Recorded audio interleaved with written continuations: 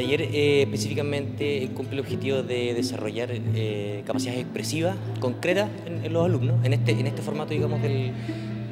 del, taller, lograr también desarrollar las capacidades que ya existen en cada uno de ellos, capacidades expresivas, y también el conocimiento y toma de conciencia de todas las herramientas que trae nuestro cuerpo incorporado en el fondo, poder